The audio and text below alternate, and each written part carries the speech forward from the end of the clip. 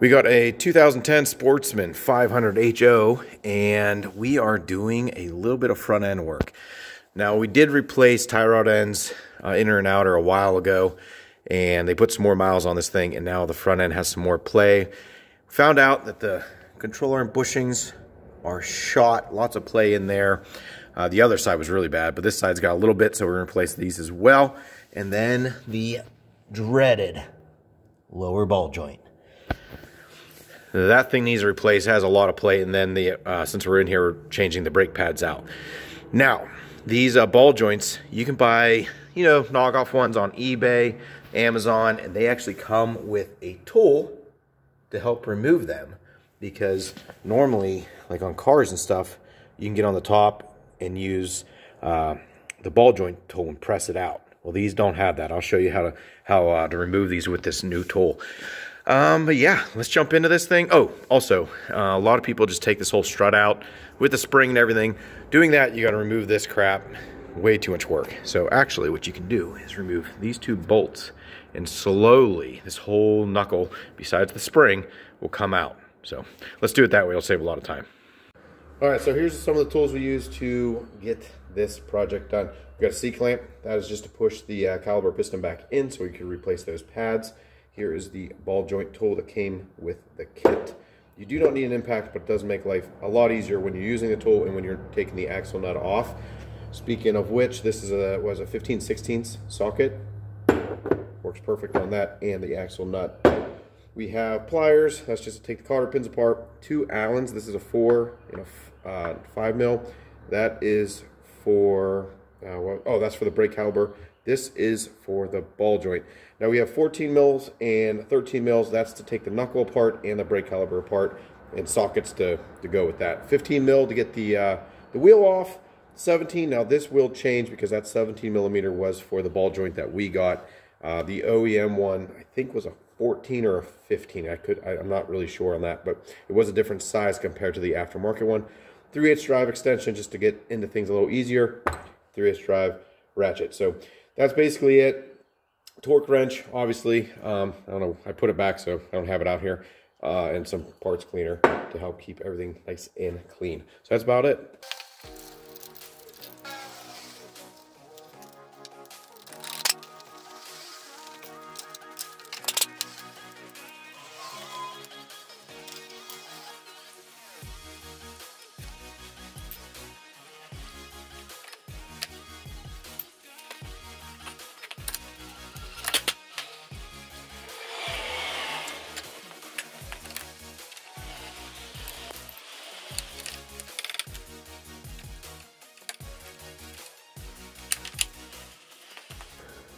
All this dirt. Make sure you clean up before you do all this. Uh, if you can give it a bath, make sure you do that. Um, little cold outside for that.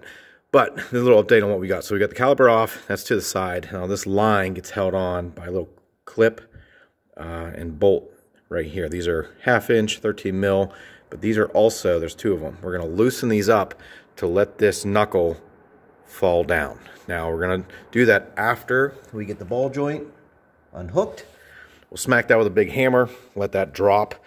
Uh, and then really what you could do too is if uh, once you have that ball joint out, you can actually unhook the control arm too.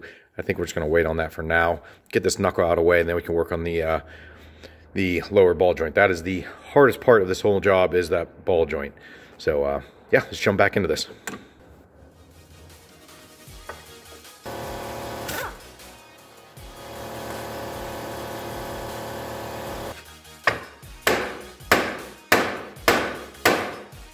All right, so lower ball joint is loose and ready to come out. We're gonna have that leave that nut on there just so it holds it. And this is again half inch, 13 mil. We're gonna loosen these up and you'll see it should drop a little bit.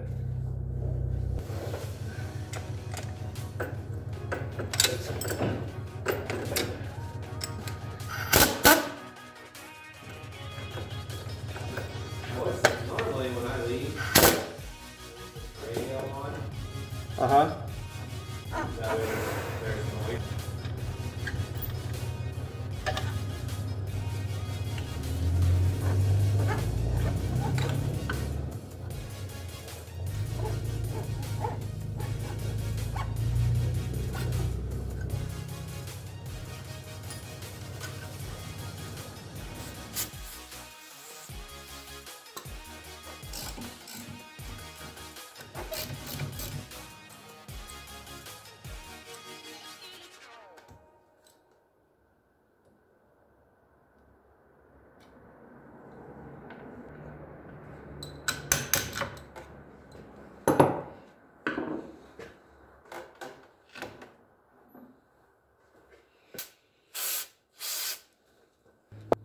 All right, so this tool is actually pretty darn nifty. So you want to screw this thing all the way in, or most of the way in, just so you can get lots of threads here. This is also why you do not want to mess up the threads on these ball joints. Okay, so you got a good bite on here, and then you want to get your socket to fit on the big nut, and then you just loosen it out. Okay, we got a little pipe wrench. You just need something to hold this. You might be able to get it just by hand, but then you loosen this up until it gets tight. Look, it's on there good tight.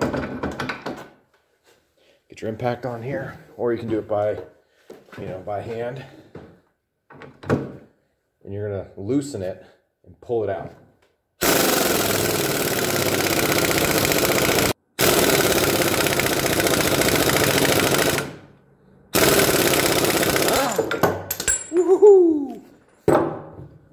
She is. I don't know if you can see that. There we go. that one got away from me a little bit, but that's it. Pulls right up out of there. And you just loosen this off.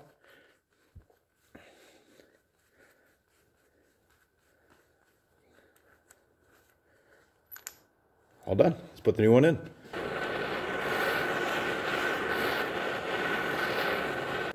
Take this boot off.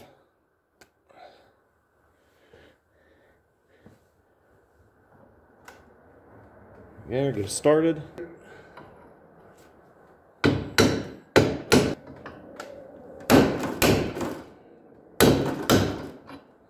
Ooh, there we go.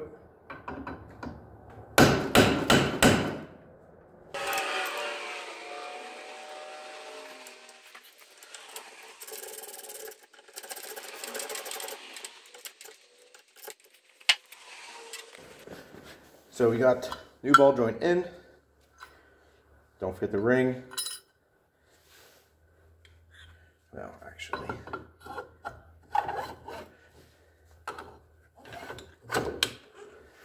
Now, when doing this part, if you're He-Man, you can kind of push this up in there.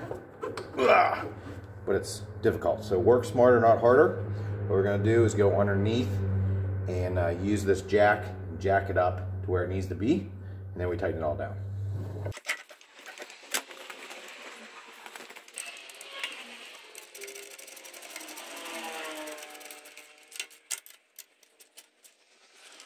This thing's all tightened up. We're just gonna put the tie rod in, back on.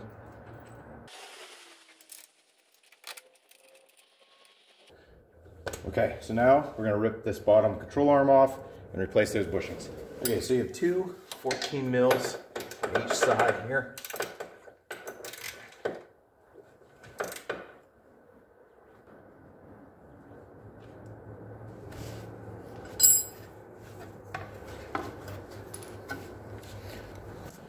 Now this is what you're left with. Just got the control arm.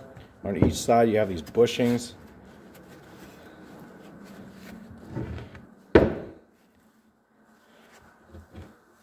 And inside is going to be a shaft and grease out the wazoo.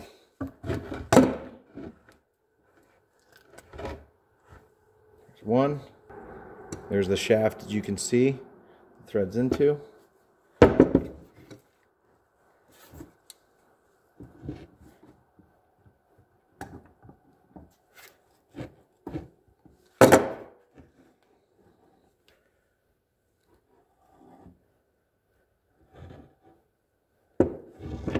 Leave this thing up a little bit.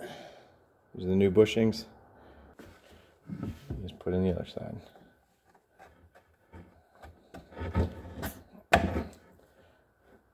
Just like so. And then uh, make sure your Zerk fitting's still in good shape. You can put this back on, and then you just fill this thing up full of grease, tighten it down. Uh, yeah, should be good. Okay, so we got this all cleaned up. Put this control arm back in.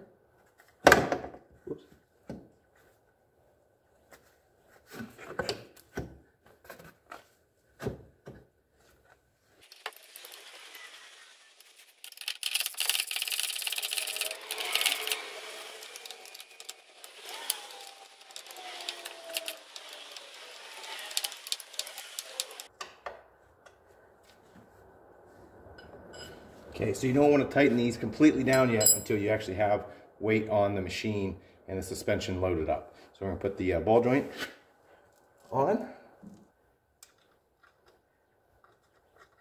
So again, what you can do is you can put your jack underneath this, press up on it, just to get the weight off the jack stands, and then that means you you know you have a lot of weight on this, then you can torque these down. Am I using an ATV jack? Yes. Yes, I am. Why?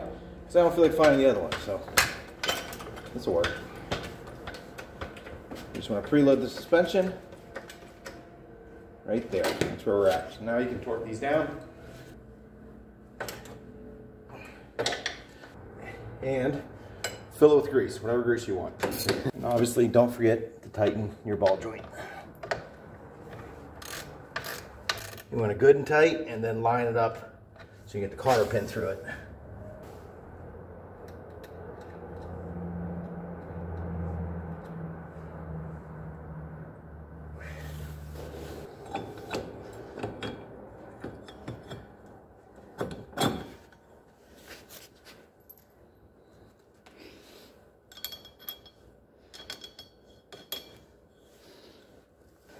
What we're gonna do is uh, you can torque this better once the quad and everything's on the ground. So we'll do that just to line it up so you can get that cotter pin in and get the torque spec.